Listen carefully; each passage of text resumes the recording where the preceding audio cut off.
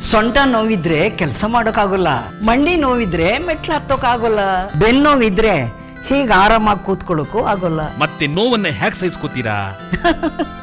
No one ಯಾಕೆ ಸುಮ್ಮನೆ ಸಹಿಸ್ಕೋಬೇಕು? Joint joint ನೋವಿಗೂ ಒಂದೇ ಪರಿಹಾರ ಇದೆ. Joint Ayurvedic pain reliever ointment. ಎಲ್ಲಾ ನೋವಿಗೂ ರಾಮಬಾಣ.